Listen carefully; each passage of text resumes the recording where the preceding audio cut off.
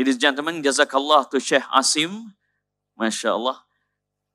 Among others, I believe we can summarize that Tawheed is a way of life.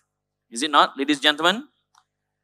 Uh, before that, Alhamdulillah, the crowd is full. So for those who just arrived, you may fulfill the seat above there. All right? So Alhamdulillah, MashaAllah, the crowd is outstanding, Brother Faisal. MashaAllah, amazing. It's nice to see such a great turnout. I remember, Brother Amin, I used to watch 15 years ago All right? from Peace Wow. TV. Okay. And I was looking at actually our next speaker, spoiler alert. Spoiler alert. And I right? was just thinking, wow, wouldn't it be awesome if we have something like this in Malaysia? And to make it more interesting, uh, the host is you. Oh, mashallah, alhamdulillah, Allahu Akbar. Sometimes miracle do happens. Akbar. Alhamdulillah, alhamdulillah. So, brothers and sisters, we strongly encourage all of you to take notes as part of our journey of seeking ilm. As the Prophet ﷺ himself encouraged us to tie our knowledge through ilm. Now, for those of you who are taking notes, we also would love for you to share on your social media pages. Yeah, if you take any pictures or videos of the event. So please do share in your respective social media pages and hashtag the official hashtag of this event. Okay. So, brother Amin, what's the official hashtag of Uh, this event? our official hashtag is PISC, right? PISC, PISC 2024, and also hashtag Light of Tawheed. Light of Tawheed. And to spell Tawheed as coordinate, it is T A W H E E D, That's right. right? So this is a, an area of lots of khilaf. We have Alhamdulillah. T A U H I D. We have T A U H E E D. So let's all be united upon this opinion, which is Alright. T A W W H E E D. So let us avoid khilaf in this program. in this program, inshallah. And nevertheless, please follow us on Facebook, which is PISC, Perlis International Sunnah Convention. And uh, Brother Faisal, who will be our next speaker? Oh, our next speaker. If you look on his Facebook page, he did give a promotion on this event, Correct. and he says he is from Putrajaya. Nah, he's from India. Really? Nah, he's from Putrajaya. Now, Ah, I have video evidence. I just saw it. and MashaAllah. ladies and gentlemen, he is en- enlisted among the 100 most influential people on- in India. MashaAllah. and uh, he received prestigious Dubai International Holy Quran Awards Islamic Personality in 2013. Uh, the highest award of Malaysia, which is Tokoh Al Hijrah Distinguished International Personality Award for the year 2013, and so on and so forth. MashaAllah. So, Amazing. ladies and gentlemen, he will talk about uh, the topic. What is it? So, brothers and sisters, we heard how Sheikh Asim al Hakim mentioned that Tawheed is not just something theoretical, it's something Correct. that we live and breathe. Mhm. It should be a way of life, which leads into the topic of our next speaker the implication of Tawheed in human life for all of us. So without further ado, ladies and gentlemen, let us welcome Dr. Dr. Zakir Naik. Last and final revelation of Allah subhanahu wa ta'ala, which was revealed to the last and final messenger, Prophet Muhammad, peace be upon him. Allah says in the glorious Quran, in Surah Rad, chapter number 13, verse number 38, وَلِكُلِّ قَوْمٍ had. In every age have we sent a revelation, have we sent a book.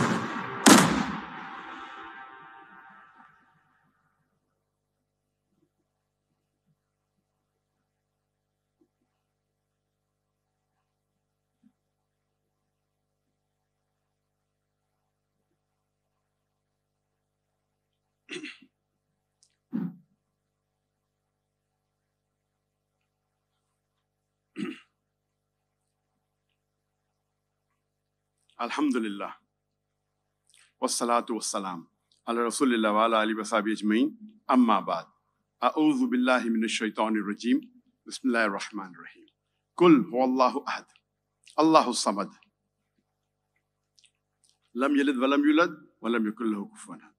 Rabbi shrah li sadri wa yassir li amri wahlul 'uqdatam min lisani yafqahu qawli. My respected mashayikh, my respected elders, and my dear brothers and sisters. I welcome all of you with the Islamic greetings. Assalamu alaikum wa rahmatullahi wa barakatuh.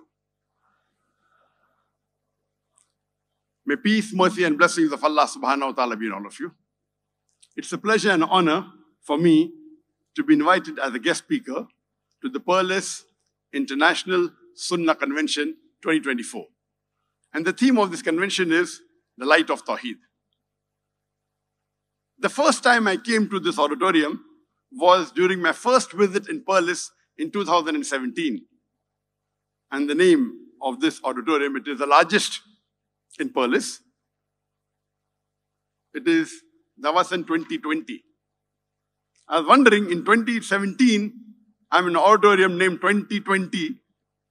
Now I'm in 2024 in an auditorium named 2020. And Alhamdulillah, Perlis has become my second home. Since I came, since I settled in Malaysia, since 2017, every year I've been coming, except 2020. Because of the COVID pandemic. The topic of my talk today morning is the implications of Tawheed in human life. Before I dwell into the topic, I would like to ask you a question. Have you ever thought, why are we here? Why are we here in this world? What is the purpose of our life? I would like to ask you, and please raise your hand, has anyone of who of you have thought, which of you have thought, why are we here? What are we doing on this earth? What is the purpose of our life? Please raise your hand. I can see maybe 20, 30 hands raised. Out of few thousand people, okay, another few hands, 40, 50 hands. Not bad. Allah subhanahu wa ta'ala, our creator, gives the reply in Surah Dhariyat, chapter number 51, verse number 56. وَمَا خَلَقْتُ الْجِنَّ وَالْإِنسَ إِلَّا لِيَعْبُدُونَ That I have created the jinn and the men not but to worship me. So the main purpose of our life is ibadah, worship of our creator Allah subhanahu wa ta'ala. I've given a talk on this topic, purpose of life. If time permits, you do watch it, or you may watch it also. So the main purpose of a life and the only purpose of a life is ibadah, worshipping Allah subhanahu wa ta'ala. And if you read the glorious Quran, the last and final revelation of Allah subhanahu wa ta'ala, which was revealed to the last and final messenger prophet Muhammad, peace be upon him, the glorious Quran, almost all the verses, directly or indirectly, they're connected with Tawheed. And Surah Ikhlas, chapter number 112, verse number 1 to 4. Our beloved Prophet Muhammad said, it's mentioned in Sahih Bukhari, volume number 6, hadith number 5015. The Prophet said, Surah Ikhlas is equal to one third of the Quran. Imagine four verses of the Quran out of 6,236 verses. It is 0.064%. Four verses of the Quran out of 6,236 is 0.064%. And our Prophet said it is one third of the Quran, 33.33%. Because this Surah Ikhlas, its main concept is Tawheed. And we'll discuss that later during my talk. Tawheed means unification. It means asserting oneness. It derived from the word wahada, which means to unite, to unify, to consolidate. The organizers told me that I should list the verses of Tawheed in the Quran and the Sahih Hadith. Let me tell you at the starting of my talk that the word Tawheed by itself, Tawheed, doesn't exist anywhere in the Quran. The word Tawheed by itself. Neither it is present anywhere in any of the Sahih Hadith of the Prophet But the concept is there. The derivative of the word Tawheed is there in the Quran, like Ahad, meaning one. Wahid, um, Ahad means the one and only. Wahid means the one. Or Wahada means himself alone. The word Ahad occurs in the Quran once in Surah Ikhlas, chapter number 112, verse number 1.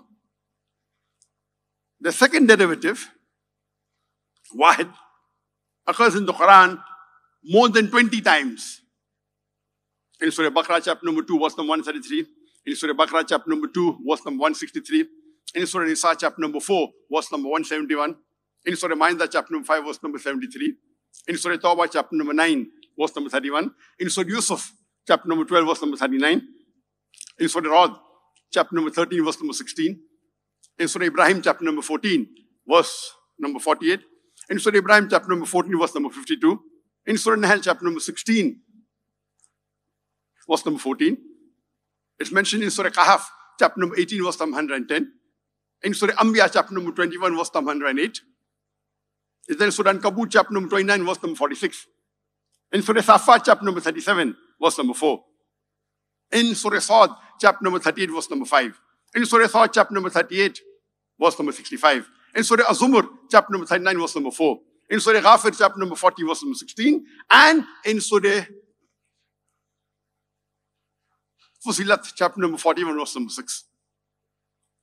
It occurs in the Quran no less than 21 times. The word Wahid, one. And the word Wahada, it occurs five times in the Quran. In Surah Isra, chapter number 17, verse number 46. In Surah Az-Zumar, chapter number 39, verse number 45. In Surah Shura, chapter number 42, verse number 12. Surah Ghafir, chapter number 40, verse number 12. Surah Ghafir, chapter number 40, verse number 84. And in Surah Mumtahina, chapter number 60, verse number 4. It occurs no less than five times. In Hadith, the derivatives like yuwa, like yuwad, occurs many times. It's there in Sahih Bukhari, volume number 6, Hadith number 5015, and in Sahih Muslim, volume number 1, Hadith number 111.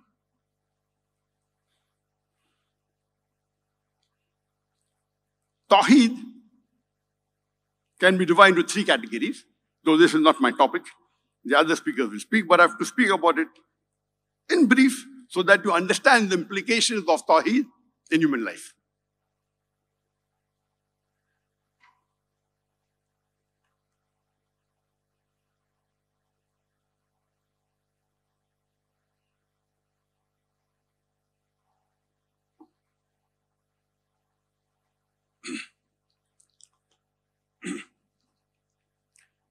Tawheed is divided into three categories.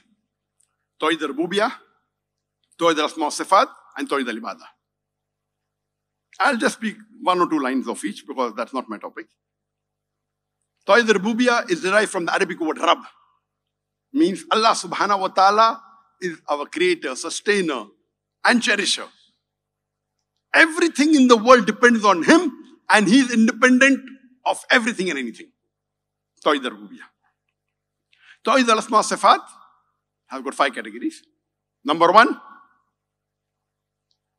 the description of Allah subhanahu wa ta'ala.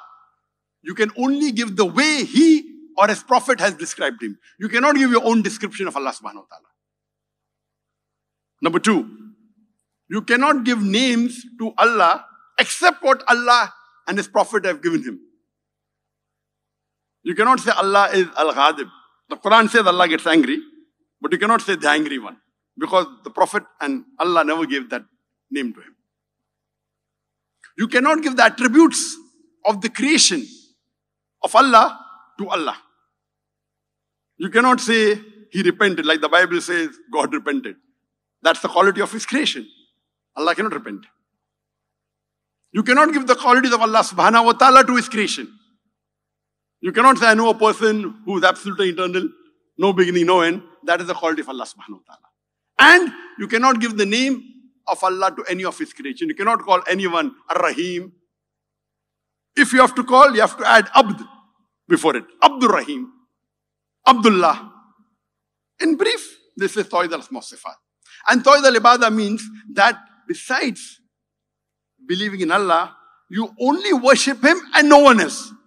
If you believe in the first two categories of Tawheed, Tawhid al-Rububiyah, Tawhid al-Asma Sifat. At the same time you worship somebody else, you're breaking the third rule of Tawhid, Tawhid al-Ibadah. He only deserves worship and no one else. And the Quran gives this example in Surah Yunus, chapter number 10, verse number 31, that when you ask the pagans, who is the one who controls everything from the heaven and the earth? Who is the one that controls the hearing and the sight?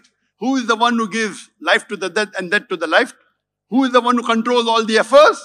They will say, the mushriks will reply, Allah. Then why are you deluded from the truth? Allah gives the message in Surah Zukhruf, chapter number 43, verse number 87. When you ask them, ask the mushriks, the pagans, who is your creator? They say Allah. Then why do you worship somebody else? So here Allah is giving the example in the Quran that the mushriks, they believed in one Allah. They believed in Tawhid al-Rububiyah, but they worshipped other gods besides Allah. Therefore, Allah says in Surah Yusuf, chapter number 12, verse number 106, most of the people worship not Allah without associating partners with Him. That means most of the human beings, they worship Allah, but along with associating partners with Allah. So you find that even the non-Muslims believe in God, believe in Allah, but they associate partners with Him. And if you break any one of the three categories of Tawheed, it is called as Shirk. It is the biggest sin in Islam. Associating partners with Allah subhanahu wa ta'ala is the biggest sin in Islam. Allah says in the Quran in Surah Nisa, chapter number 4, verse number 48, that Allah forgiveth not anyone associating partners with Him. Anything else, if He pleases, He will forgive.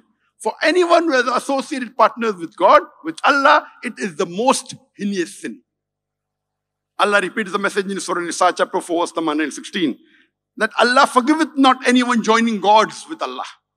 Anything else, if He pleases, He may forgive. But anyone who has joined God with Allah, he has strayed far away. So shirk is the biggest sin in Islam.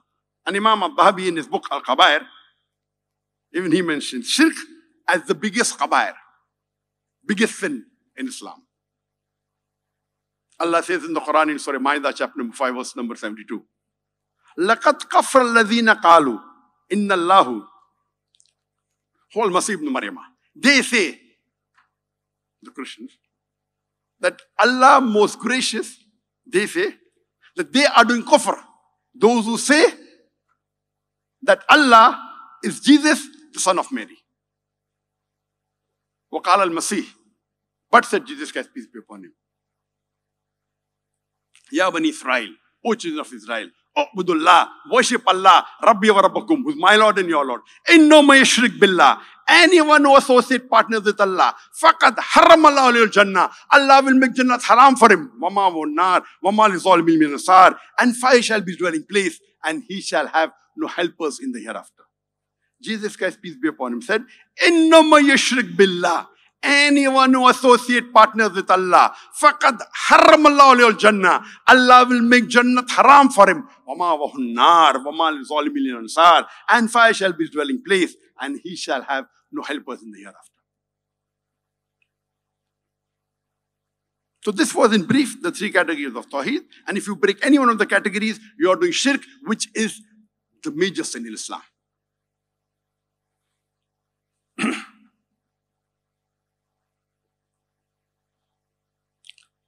Let's discuss the implication of Tawheed in human life. First, we'll discuss Tawheed and Al-Ibadah. Ibadah comes from the root word abd, meaning slave. Ibadah means worship Allah subhanahu wa ta'ala. Many people have a misconception that only Salah, Zakat, Ramadan, the five pillars of Islam are ibadah. Yes, they are the high category of ibadah. But any commandment of Allah you follow, you're doing ibadah. If you follow the commandments of Allah given in the Quran, you're doing ibadah. If you abstain from things which Allah has prohibited, you're doing ibadah. Let's first discuss the five pillars and then we'll discuss the other things. Number one is Tawheed. The most important sentence in the life of every Muslim or should be in the life of every human being is Ashhadu Allah ilaha illallah wa ashhadu anna Muhammadan Rasul. I bear witness that there is no God but Allah. And Prophet Muhammad, peace be upon him, is the slave and messenger of Allah. It is Tawheed and Risala together. It is the most important sentence in the life of any human being. And every Muslim should say this. And if it is the last sentence before you die, Allah promises you Jannah. The implication of this Tawheed is that if you're on Tawheed, Allah promises you Jannah. And the main purpose of life is ibadah. This life is a test for the hereafter. The second pillar is salah. A true believer, his life revolves around Tawheed. Every action, every every deed, inshallah, we'll discuss. The implication is Tawheed. And every Muslim has to pray minimum five times a day. A life revolves around Tawheed. If you go to the Gulf country, you ask for an appointment, the appointment will be related with Salah. Okay, half an hour before Zohar, okay, one hour before Zohar, one hour after Zohar, before Asr. It revolves around that. And there is no appointment more important than the appointment with Allah subhanahu wa ta'ala. You know, when you have an appointment with uh, someone who is great, you want to meet a minister, you suit it, you get 10, 15 minutes before. If you want to meet the prime minister or the king, you go half an early. You want to see to it that no, you're on time. But no one is greater than our creator Allah subhanahu wa ta'ala. So salah five times a day, it disciplines your life. The implication is whatever happens, if it's a call for prayer, you leave everything. And our mother Aisha, may Allah be pleased with her, the wife of the Prophet, she says in a hadith that the Prophet, when he's with me and his wives, he's so engrossed and so loving, as though everything we. But the moment he hears the adhan, he leaves everything and walks as though what happened? Because he heard the call of Allah. And he goes to the mosque. This is the implication of Tawheed in your life. But unfortunately, every one of us doesn't do that. Or most of us doesn't do that.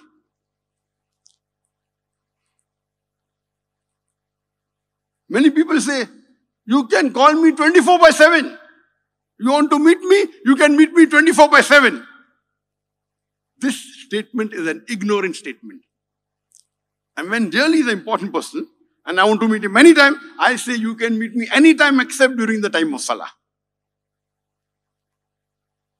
I never tell anyone 24 by 7. 24 by 7 is only for Allah. Besides Allah, no one else can I say 24 by 7, not even my wife, not even my son.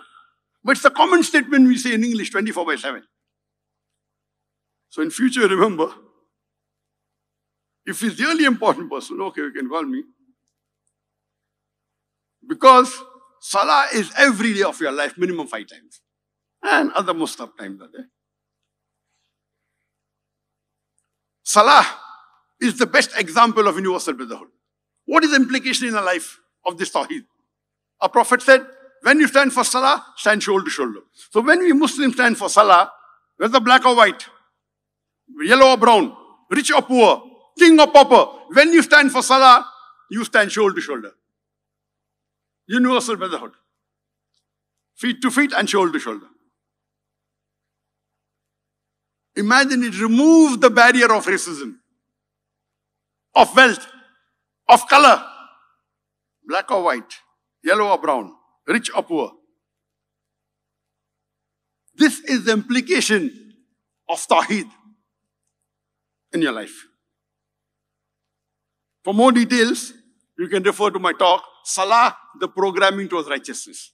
Because every aspect you can speak for us together.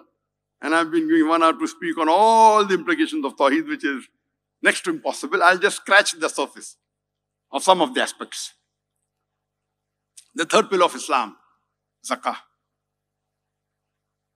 Every rich person who has a saving of more than 85 grams of gold, more than the nisab level, should give 2.5% of his saving every lunar in charity. If every rich human being in this world gives zakah, charity will be eradicated from this world. When we give zakah, it's an obligatory fard charity. Most of the times, 2.5%. You have to give. And Allah says in the Quran, who is the one who can give a beautiful loan to Allah and He will multiply it to you? Does Allah require a loan? Allah, does He require a loan? What does He mean by this verse? That means if you see a poor man, you give charity. If you see someone who wants some money, you give it to him as loan, as though you're giving it, not Allah doesn't require. You're giving because Allah commands you. When Allah says, Who is there to give a loan to Allah? Allah doesn't require. To Him belongs everything. It means Allah is checking do you follow His commandment or not? Do you help the poor people or not? Do you see to it that you fulfill the needs of the poor people or not? When you give food to a needy, you're feeding Allah. Allah doesn't require to be fed. Allah says in Surah Anam chapter 6, verse 104, He feeds everyone but does not require to be fed. Surah Anam chapter 6, verse number 14. So here, when you are giving zakat, it's a commandment of Allah subhanahu wa ta'ala. And I say, zakat is fard. Additional charity is mustahab. It is mustahab. So minimum if you give 2.5%, it is your minimum Muslim. But if you give more, you're a better Muslim. And I tell the people that zakat is fard, but try and give more charity. Okay, give 10% of your income. Or give 20% of your income. And the more percentage you give to Allah, the balance with you will be more in quantity than the earlier.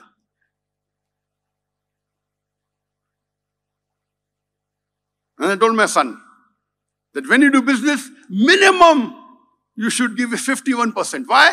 Make Allah your partner in business. In business. And you cannot make Allah a small partner, 10%, 20%. If Allah is a partner, he has to be a major shareholder. So minimum 51%. He knows how much I give, but mine is a different case. It's a different level. He's just starting business. So minimum you have to give 51% of your profit every year to Allah in charity. Minimum. Because if you make Allah the partner in business, you cannot make him a small partner. He should be the major shareholder. Then you keep on increasing 60%, 70%. The more you increase, the balance that will be with you will be bigger.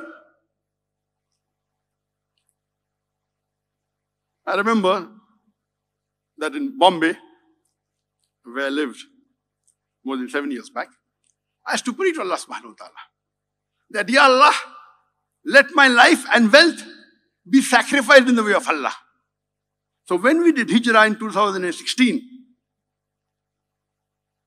because I'm a Dai, I had to leave my country for sake of Allah. It's a sunnah of the Prophet. What we did, all my wealth went away. Hundreds of millions of ringgit. We left it.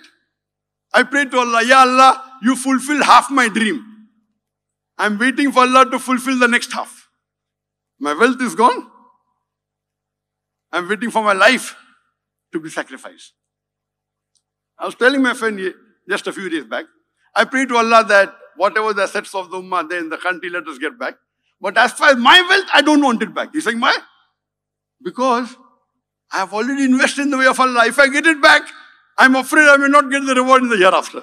So never do I pray because my wealth in India was taken away by a non-Muslim government because I'm a Dai.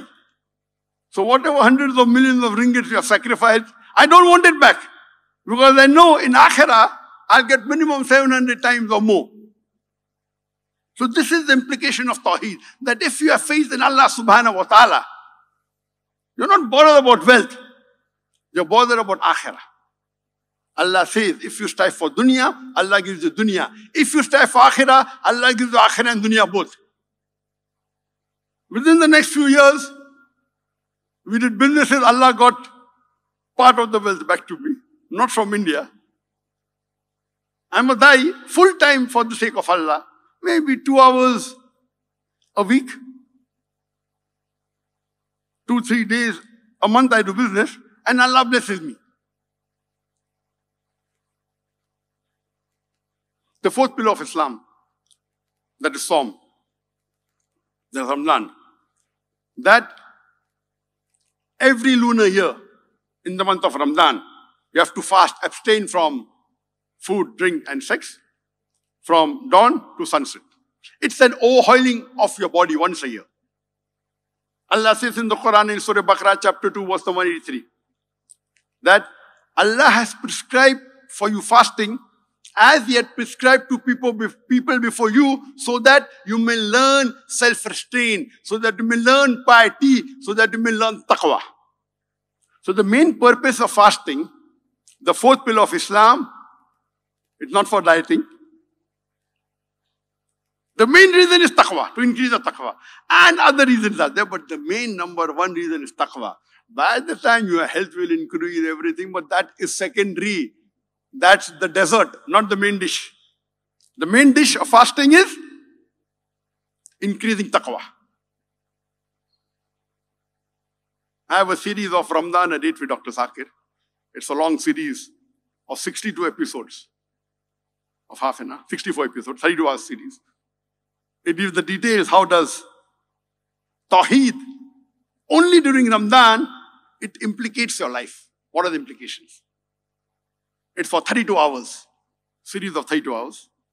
Ramadan, a date with Dr. Zakir. The last pillar of Islam, Hajj.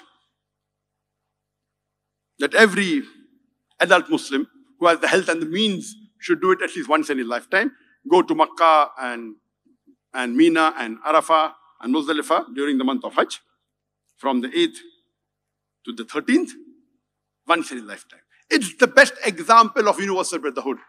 More than 4 million people from all over the world, from India, from Pakistan, from Indonesia, from USA, from Japan, from Malaysia, from all over the world. The men are dressed in two pieces of uncloned, unsewn white cloth. You cannot identify the person next to you whether he's a king or a pauper. Labbaik Allahumma labbaik. Here I am, O Lord. Here I am at your service. It's an implication. And once you perform Hajj, imagine the people who perform Hajj the first time, and if they do it correctly, as per the Quran and Sunnah, their life changes.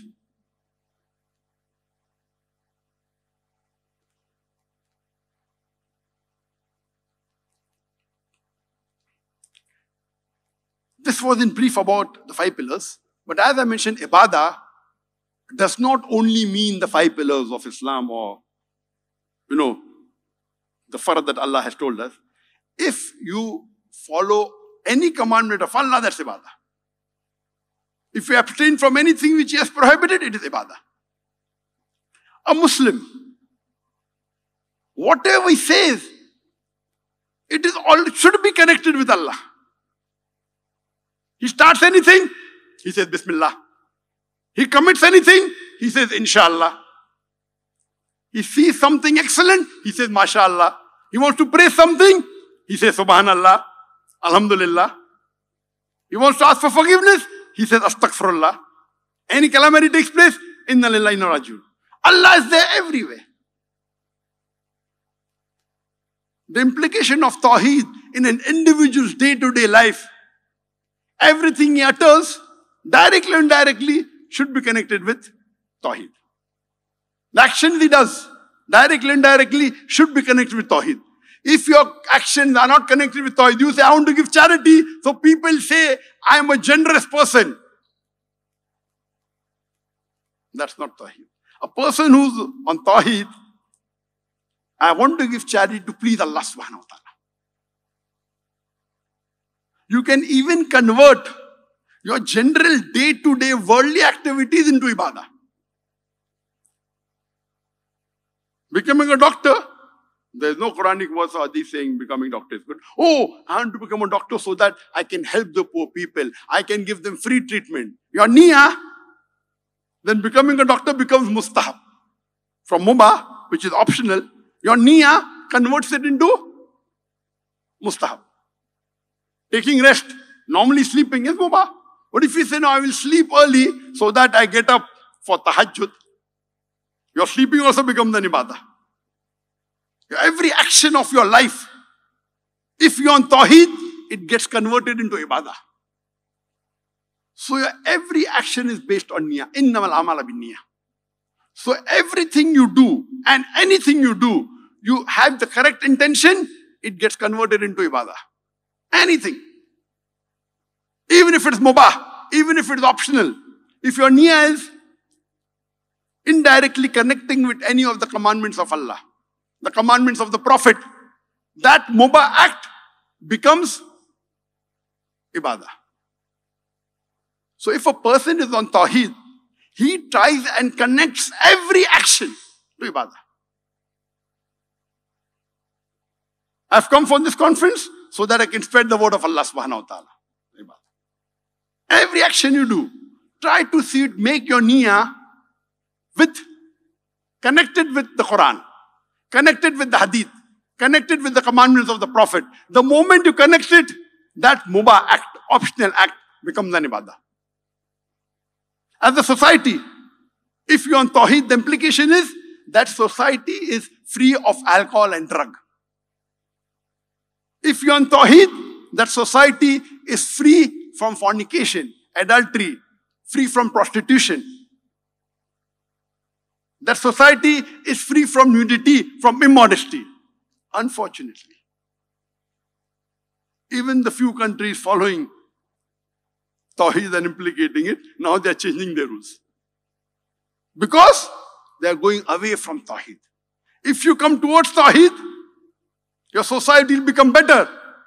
Alcohol free, drug free, prostitution free, adultery free, fornication free. Now you have countries which want Tawheed, allowing alcohol, allowing immodesty, removing hijab.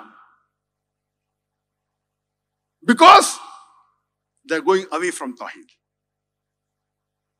Tawheed makes your life better, the society better.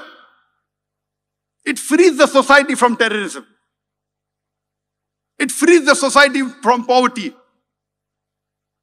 It frees the society of racism. And the list is long. I've given the talk Islam, the solution for humanity. It gives the details of all these things. And we see today. Today, the best example that we have in the time of the Prophet. He's the best example of living Tawheed in the world. And I've given the talk on Muhammad Sallallahu Alaihi Wasallam, mercy to humanity. The Sahabas, the Khulfa Rashidin are the next. Then the Sahabas. Ambiya the number one, the Khulfa Rashidin number two, then the Sahabas. Of course, there are topics on Sahaba and Tawheed, I won't touch on that. But when you look at the lifetime, we are nothing. When the Prophet told the Sahabas that contribute something for jihad, Hazrat Umar may Allah be pleased with him. He comes and gives wealth. He said, This is 50% of my wealth. The Prophet asked, What did you leave home? He said, Ya Rasulullah, I give 50% to you, 50% I kept it at home. MashaAllah, very good. Hazrat Abu Bakr, may Allah be pleased with him. He comes and he gives his contribution. The Prophet asks him, What did you keep at home? He said, I gave everything. I kept Allah and His Rasul at home.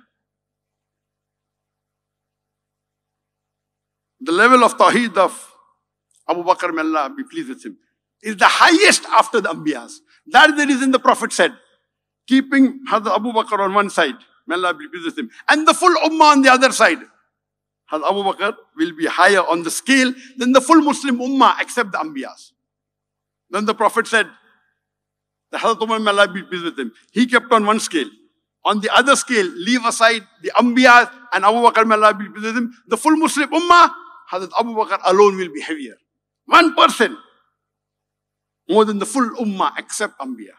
The second person better than the full Ummah except Ambiya and Hazrat Abu Bakr. See the level. We are nothing. If you see the lifestyle of the Sahaba, the way we are enjoying life is nothing. Recently, in the last 112 days, what we noticed, and when I say 112 days, it is starting from 7th of October 2023. Most of us know about the attack of Israel on Palestine, on Gaza. And we know that for the last 112 days, more than 25,000 Palestinians in Gaza have been killed, out of which more than two thirds were women and children. More than two thirds, more than 67% were women and children. Innocent people. But it's the first time in the history of the world there is a genocide going on, and that genocide is being telecast live on the social media. There are many genocides done before. Many, we know it. But this is the first time in the history of humankind, the people that on whom genocide is being done, they are telecasting it live. Because today, the world has become a global village. You see on the WhatsApp, on the Facebook, on the Instagram, on Twitter, live telecast of innocent women, children, men being killed more than 25,000 in the last 112 days from 7th October to the 27th October 2023 to the 27th of January 2024. And when we see the statements and we hear the statement, a heart cries and they are an example today that imagine a child who is more injured than the father, That child is telling the father, Father, don't worry, Allah is with us. Imagine the child who is more injured than the father is telling, Father, don't worry, Allah is with us. The mother who is there after two or three children have been martyred, she's complaining to Allah, thanking Allah that good you have martyred, my children have become martyrs. Why didn't you take me also? See the taqwa. You find on these live telecast the Palestinians of Gaza, the way they are thanking Allah, it is not imaginable for a person who does not know Tawheed. That's the reason when thousands and millions of non-Muslims, when they're watching this, they're asking, what type of faith is this? The house is being destroyed, they're thanking Allah. The limb is being cut, they're thanking Allah. They're on the deathbed, they're thanking Allah. People are being martyred, being killed, their relatives are thanking Allah. What type of belief is this? What type of iman is this? Most of the human beings will complain to Allah. They are thanking Allah. Only reason is because of Tawheed. They know that this life is a test for the hereafter. Allah says in the Quran in Surah Mulk, chapter number 67, verse number 2, Alladhi khalaqal mawta wal hayata. It is Allah who has created death and life to test which of you is good indeed. So when death approaches, they're not afraid. Only person who cannot be afraid of death is a person who is afraid of Allah subhanahu wa ta'ala. If a person who is afraid of Allah subhanahu wa ta'ala, he will not be afraid of anything else. Ibn Qayyim, may Allah have mercy on him, he said, if a person who fears Allah, he will not fear anything else. A person who does not fear Allah, he will fear anything and everything. If you don't fear Allah, you may fear of poverty, you may fear of life, you may fear of death, you may fear of this, you may fear of anything and everything. But if you fear Allah alone, alone is important. Now, If you fear Allah and something else, then it is partnership, shirk. So if you fear Allah alone, you will not fear anything. It's not haram to fear of flood or earthquake, it's not haram. But if you fear Allah alone, all these calamities you will never be afraid of. You'll only say, Alhamdulillah. A true momin, if some profit takes place in his business, he says, Alhamdulillah. If some loss takes place, he says, Alhamdulillah. Profit thanking Allah, loss, thank Allah, only 10% loss. It could be more. So when you see these Palestinians, the people of Gaza, they fill our heart with tears. And believe me, in this test, Allah is testing the full Muslim Ummah, the Palestinians, especially of Gaza. They are doing Fard Kifaya. They are protecting the third holiest site in Islam, Masjid Aqsa. They are doing Fard Kifaya. If they would not have been there, it would have been fard on us to go there. They are doing Fard Kifaya. And the most powerful country in the world, USA, is supporting them with the best fighters and Iron Dome everything. And yet they are fearlessly fighting them. Why? Why?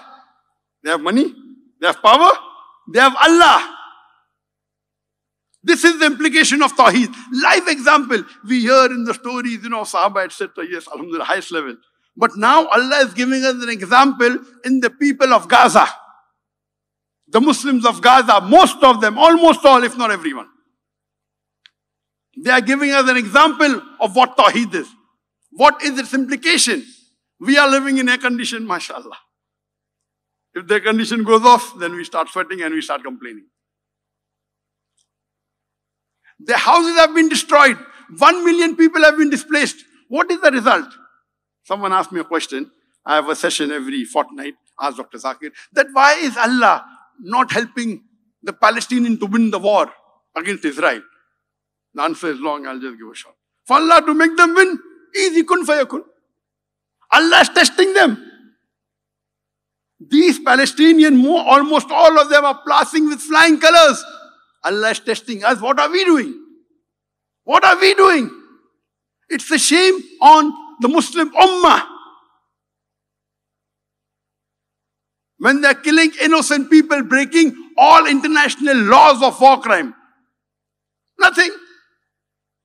Little protest here and there, that's it. Will we pass the test?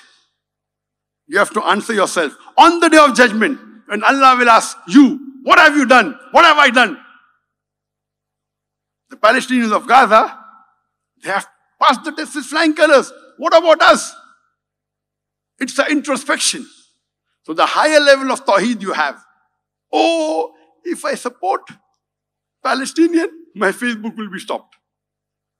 My YouTube will be stopped. And there are According to me, if 25,000 Palestinians have died, more than 25,000 non-Muslims all over the world have accepted Islam only because of watching the clips of Palestine, of Gaza. Those Westerner non-Muslim, they are thinking, what is the Iman they have? I want to have that faith. What type of religion they are following? Who is this Allah? Which book are they following? They're starting in the Quran. In less than three months, more than 25, I'm saying more than 25,000 for safety because I'm a man of figures. It may be much higher. Much higher. According to the president of the European Council, only in France alone, in the first two months, 20,000 accepted Islam. I'm not quoting him because I cannot verify statements, so I don't quote him. But I know being a man of media.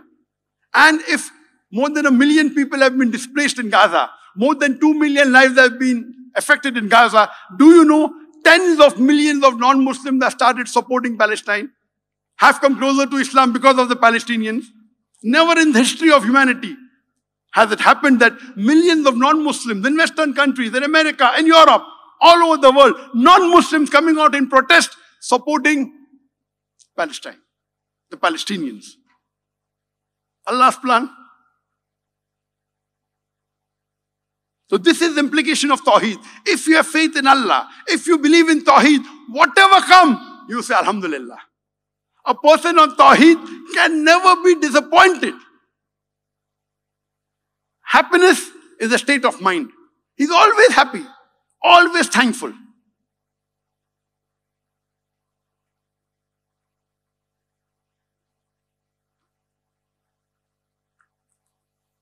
As far as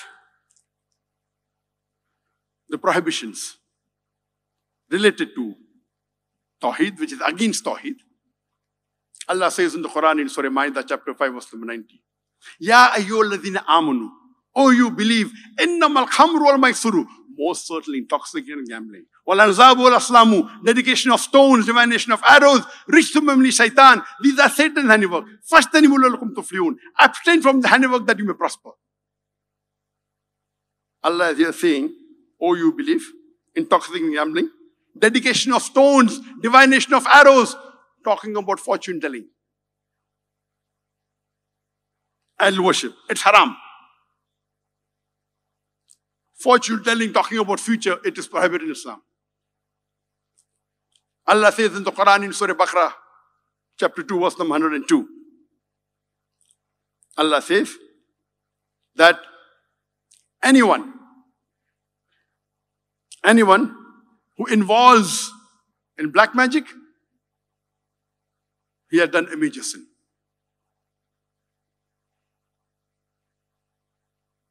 And hadith of the Prophet in Sahih Bukhari that amongst the major sin is associating partners with Allah and witchcraft. So black magic, witchcraft, sorcery, it's a major thing. Imam al-Dhahabi puts it as number three after shirk, murder, then witchcraft, sorcery, black magic. So black magic is the third major sin in Islam.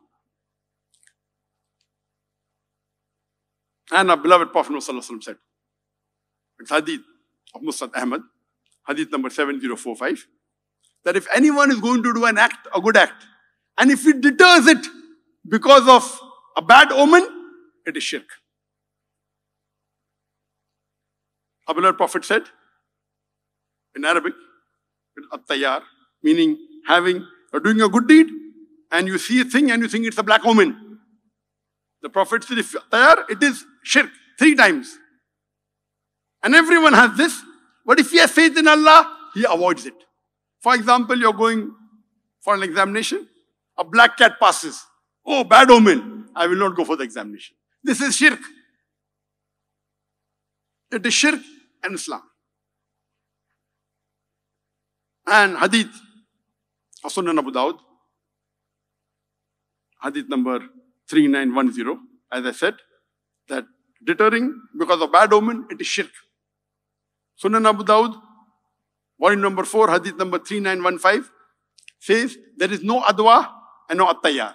There is no bad omen. But there is al-fa'il, good thinking, optimism. That yes, if you see a good sign, no problem. There is nothing like bad omen.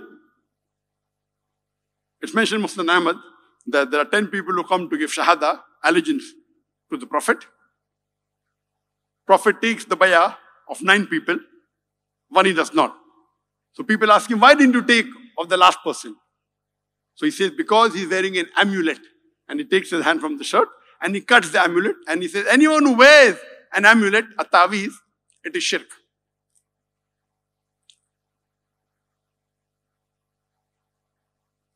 And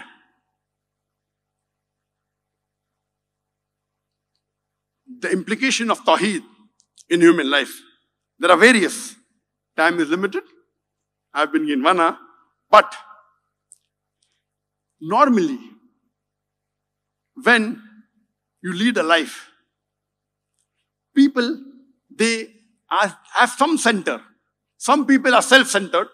Everything is themselves. I, I, I. Self-centered. Some people are society-centered. No, some people are family-centered. My mother is everything in the world. Allah says in the Quran that we have ordained for you that you worship none but Him. Eh, in Surah Isra chapter 17, verse 20, 24.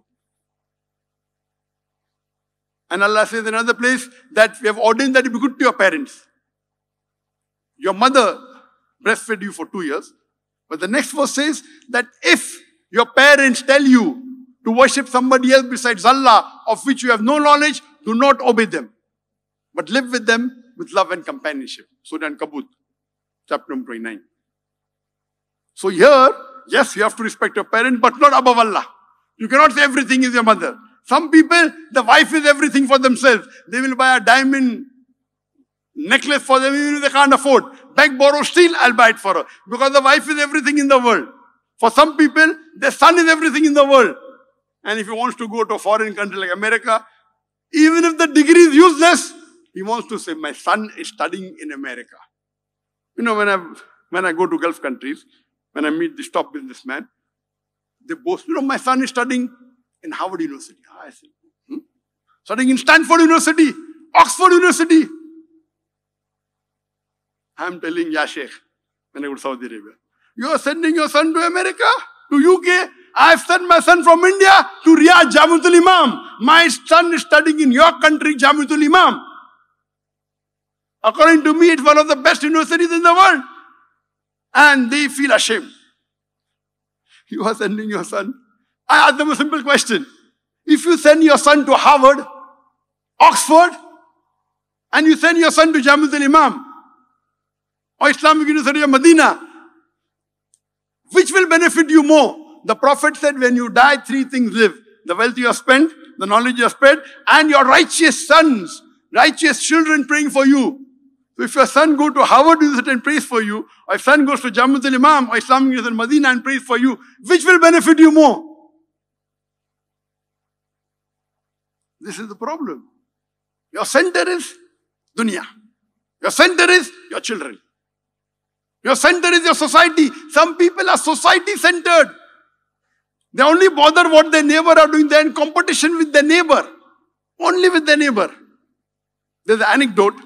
Once an angel comes and asks and tells a person, whatever you ask, I'll give you, but I'll give your neighbor double.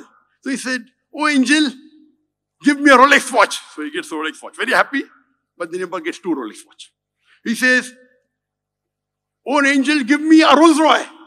So the angel gives him the Rolls Royce and gives the neighbor two Rolls Royce. Huh? Then he prays to the angel, Angel, give me a very big villa, bungalow of 10 bedroom. Angel gives him a villa, bungalow of 10 bedroom, but gives the neighbor two. He's thinking, what is happening? Then he says, Oh angel, break my one eye so that I cannot see. Attitude. He's telling the angel to break his one eye. You know why? So that the angel will break both the eyes of the neighbor. He's more bothered about winning with the neighbor than his own lifestyle. This is neighbor centered. Competition with the neighbor. Imagine. He doesn't mind making his one eye blind so that his neighbor's both his eyes are blind. This is the problem. You're more, you're more bothered about your friend, pleasing your friend, not pleasing Allah. You're more bothered about pleasing your colleague, not Allah. You are material centered. Many people are materialistic, material centered. They want to, whenever they meet with their friends, they talk. Oh, I have a watch, TAG Heuer. Tagore, I have Omega. I have a Rolex. Hublot. Oh, what is a bezel? How many diamonds does it have? I have a latest edition of Patek Philippe. Oh, Patek Philippe. So the main discussion is watches. If you go to higher level, they are discussing what cars you have. I have a BMW Porsche. No, no. I have a Maybach. Or Ferrari, Lamborghini. Oh, I have a Bugatti. So this is the main discussion. They spend hours on that. If you go higher level, yacht. I have a luxury liner. You go higher level, you have jet planes. Talking about jet planes. Which plane do you have? I have a private jet plane. Oh, how many seater? 13? I have a bigger one. Which one do you have? Gulfstream? Oh, I have a 373. Oh. This is the time always discussing materialistic things. They are material centered. Some people are fame centered. They want to get famous. They want to get popular. So they give money for degrees. You know, you give money, you get degree.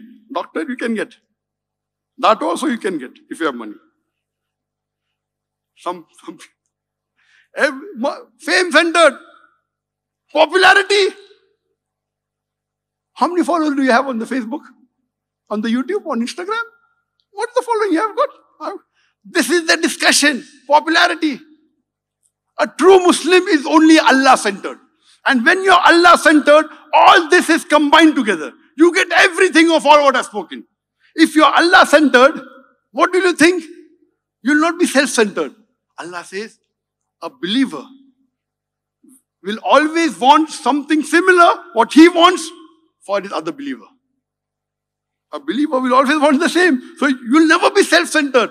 So if you're Allah centered, self centered means I will want good for my friend, for my believer, so I will benefit. So this is self centered if you're Allah centered.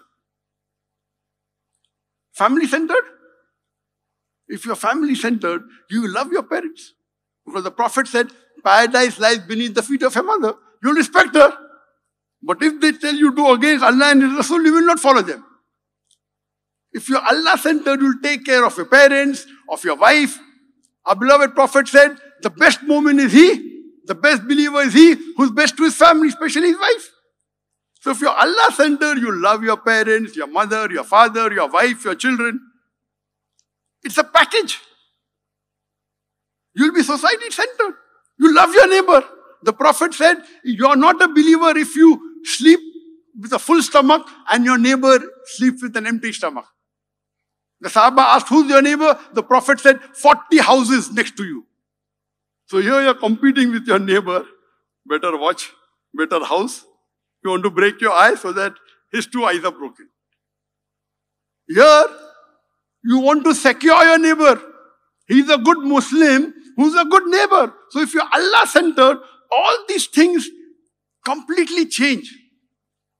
If you're Allah centered, you wonder that the fame you're getting, who is the most famous man in the world? Muhammad Did he do it for it? No. He always did astaghfar. Always asking for forgiveness. A person who has been forgiven by Allah, the best human being in the world, the best messenger in the world, yet he is asking Allah for forgiveness every day, minimum 100 times.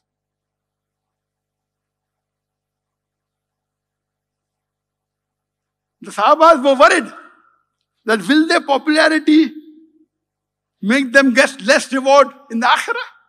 So they're afraid of popularity. They don't want to become leaders. Today people to become leaders. They'll do anything to become the leader. Here, the Sahabas used to run away from becoming the leader because they knew it's a responsibility. So if you're Allah centered, every Muslim should be Allah centered. And believe me, all your problems of your life will vanish. And you have an example in the Palestinians. They're Allah centered. If you become Allah centered, if I become Allah centered, believe me, all your problems will vanish because Allah has a solution to all the problems of humankind. If you're Allah centered, you'll always say Alhamdulillah. You'll always praise Allah. Since time is running short, I may not be able to complete all my points, but a very important point as far as implication the implications of Tawheed in human life is concerned. We always look forward for a profession. And today, the world thinks the best profession is a doctor. Next, maybe engineer or IT, etc. And my mother wanted me to be a heart specialist. I was inspired by Sheikh Deedat. Most of you know about it. I chose to become a doctor because it was the best profession. But after meeting Sheikh Deedat, I realized that the best profession is not a doctor. The best profession is that of a da'i, calling people to Allah subhanahu wa ta'ala. Allah says in the Quran in Surah Fussilat chapter 41 verse number 33 وَمَنْ أَحْسَنُ قَالَ مِمَّنْ ضَعِ اللَّهِ وَعَمِلُ صَالِحًا وَقَالَ إِنَّنِي مِنَ الْمُسْلِمِينَ Who is better in speech than one who invites to the way of thy Lord, works righteousness and says that I'm a Muslim. So the best profession is of a da'i. What was the profession of Muhammad Sallallahu Alaihi Wasallam? Doctor? Engineer? IT? He was a da'i, messenger of Allah. And after the messengers of Allah have gone, they will not come. It is the da'is who get the people, call people to Allah. Allah says in Surah Imran chapter 3 verse 104 that let there rise out of your band of people that invite people to the truth and prevent them from doing what is wrong. One of the main important implications of Tawheed in human life is dawah. And Allah gives the master key for dawah. So Imran chapter 3 verse 64 Allah says, قُلْ يَا الْكِتَابِ O people of the book, تَعَالَوْا إِلَىٰ كَلِمَةٍ سَوَاءٍ بَيْنَ بَيْنَكُمْ Come to common terms as between us and you. Which is the first term? Allah, na'budu illallah. That we worship none but Allah. وَلَا نُشْرِكَ بِهِ شَيْئًا That we associate no partner with him. وَلَا يَتَّخِذَ بَعْضُنَا بَعْضًا أَرْبَابًا مِنْ اللَّهِ That we erect not among ourselves lords and patrons other than Allah. And if they turn back, فَقُلُوا شَهَدُوا بِأَنَّا مُسْلِمُونَ We bear witness that we are Muslims bowing our to Allah subhanahu wa ta'ala. This verse of the Quran, according to me, is the master key for dawah. Come to common terms. So when you're doing dawah with the non-Muslim, you should come to common terms. And the most important is Allah, na'budu illallah. That we worship none but Allah. Tawheed. I tell to all my Dai students, while doing dawah, you can start with science and with history, no problem. But your main focus should be Tawheed. If you cannot remove the shirk from the life of that non-Muslim, your dawah is useless. You may convince him alcohol is haram, you may convince smoke is haram, he may stop with adultery, he may stop with riba, but he does not stop shirk. Your dawah is useless. He will not go to Jannah. So as a da'i, your main aim should be Tawheed. You can start with commonalities, science, no problem. But your main aim should be Tawheed. If you do not instill Tawheed and remove the shirk from the non-Muslim or dawah is useless.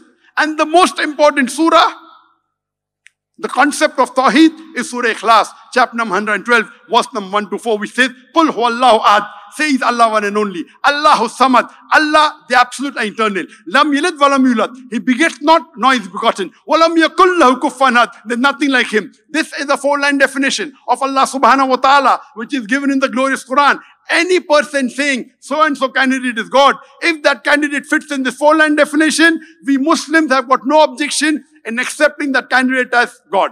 Number one, say is Allah one and only. Number two, Allah Samad, Allah the absolute eternal. Lam yalid walam yulad. He begets not nor is he begotten. Walam This is the touchstone of theology. Surah Ikhlas is the litmus stone of theology. In identifying Allah, this is the litmus test. It is the touchstone of theology. And doing dawah is a fard in Islam. Surah Al-Asr, according to Imam Shafi. If this surah alone was revealed, it would have been sufficient for hidayah. Allah says in Surah Asr, chapter number 103, verse number 1 to 3. I would like to end my talk with the surah. Wal Asr. إن الإنسان لفي خسر إلا الذين آمنوا وعملوا الصالحات وتواصوا بالحق وتواصوا بالصبر. By the token of time, man is verily in a state of loss, except those who have faith those who have righteous deed, those who exhort people to truth, and those who exhort people to patience and perseverance. There are minimum four criteria for any human being to go to Jannah. Number one, Iman. Number two, righteous deed. Number three, watawasaw bil haq, that is dawah and islah. And number four, watawasaw bil sabr, inviting people to patience and perseverance. You may be a very good Muslim. You may be offering five times salah. You may be giving zakat. You may be fasting in the month of Ramadan. You may have gone for Hajj. But if you don't do dawah, According to Surah Al-Asr, you shall not enter Jannah. If Allah wants to forgive you and put you in Jannah, that's Allah prerogative. Allah's prerogative. But under normal circumstances, if you don't do dawah, you will not enter Jannah. You have to be minimum part-time da'i. But the best is a full-time da'i. I'd like to end my talk. The implication of Tawheed in human life. The best profession, Allah says in Surah Fusilat, chapter 41, verse number 33. And my talk, ومن أحسن قولا ممن دعا إلى الله وعمل صالحا وقال إنني المسلمين Who is better in speech than one who invites to the way of thy Lord, works righteousness, and says that I am a Muslim. وآخر الدعوان الحمد لله رب العالمين